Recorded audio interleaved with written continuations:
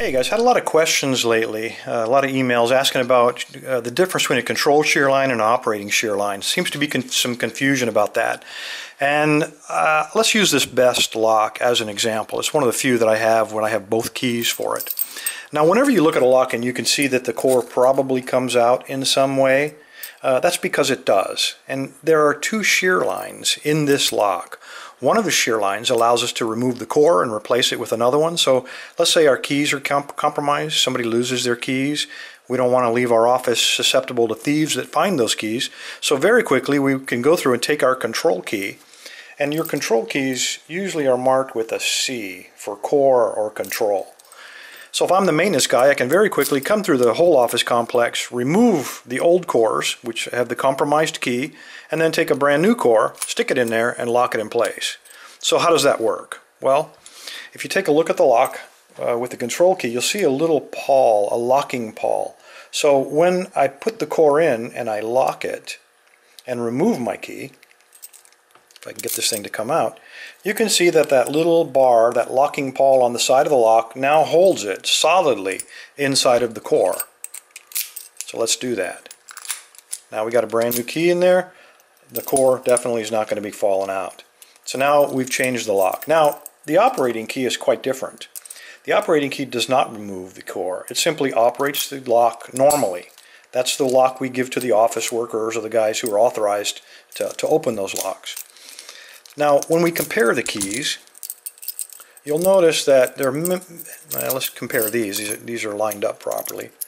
This is a six pin lock. This is a Corbin Russwin lock. And if I can get it to cooperate, you'll see there's six pins and none of those pins align with each other. There are no common pins between either of these two keys, yet both of these keys work in this Corbin Russwin lock. It's been ground off probably for security purposes, but both of these keys will operate it. One, the one marked with the C, there you go, will operate the locking pawl, but it will not open the lock. It simply allows us to remove this core. Well, if we can get the core out, as lockpickers, if we can get this core out, we can take a screwdriver and open the door. So we really don't care if we open open this thing to the up to the control shear line or to the operating shear line. Either way, we get this lock open and we get that door open. Now here's the problem for pickers. Six pins and they all have to be perfect. We cannot mix and match the shear lines. In other words, I can't take I can't pick three of the pins for the control shear and three of the pins for the operating shear and get this lock open. It just doesn't work that way. If I'm going to pick it to control, I have to pick all six pins to those exact depths. If I'm going to pick the operating, I've got to pick all six pins to those exact depths. If I mix and match, if I pick all five, so let's say I pick five pins to the operating shear and I accidentally pick one of the pins on this to the control shear, the lock will not open either to secure, uh, uh either to uh, operating shear line or to control shear line. So you can see this becomes a game of statistics. So what's the best way for us to get into these locks? Well, let me show you. We got a new tool to play with, and, uh, and I'll show you a good way to get into these multi-shear line locks very quickly by playing the game of statistics. So let me get this thing tied down in the vise and uh, we'll get to it.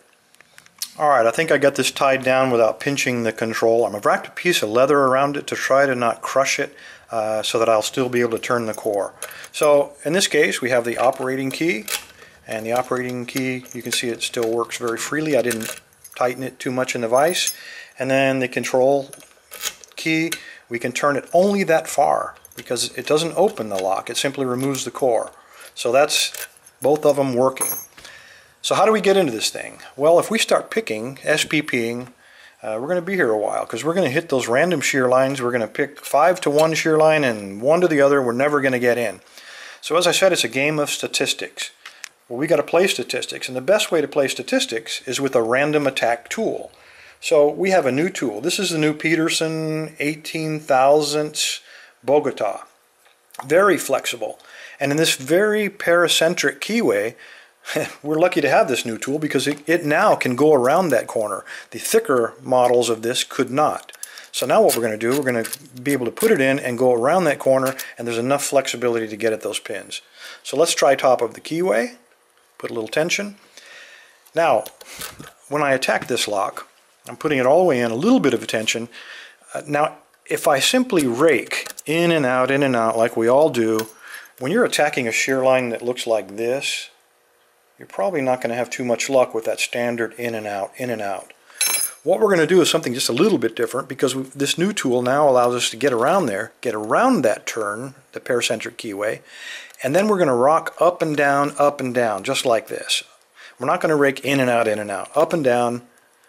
And what we're doing is it allows the high points on this new pick to get up there and pick those deep cut uh, pins and not overset the shallow ones.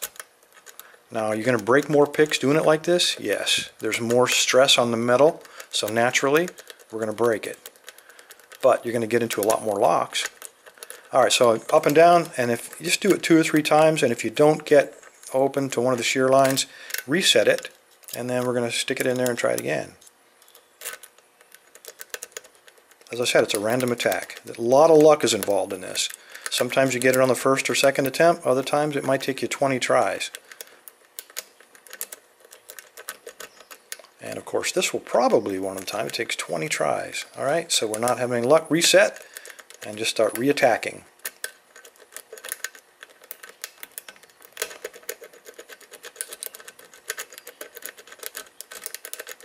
Okay, reset, reattack. That last pin is holding me up. I'm kind of bound up back there. Reset, reattack.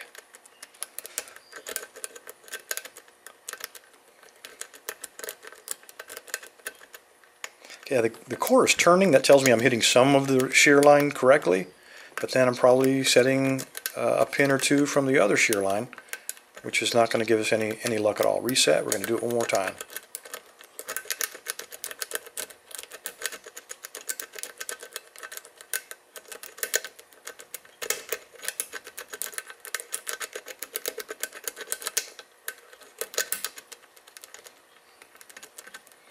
Okay, we're stuck. Pick a, there we go. Got it stuck back there again.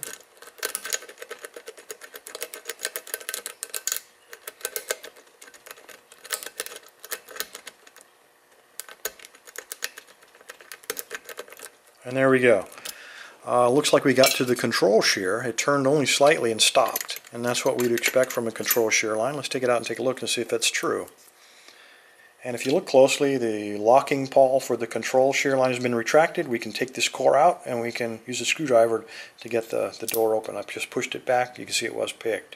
So it's possible, fellas, even with incredibly wild bitting on locks like this, with a random attack against these multi-shear line locks, that's the fastest and most sure way to get into them. Anyway, you got a couple new tools to play with, a couple new techniques to put in your black bag of tricks. Everybody, thanks for your time. Uh, Jeff Moss, thank you, sir, for this lock. Everybody stay safe, stay legal.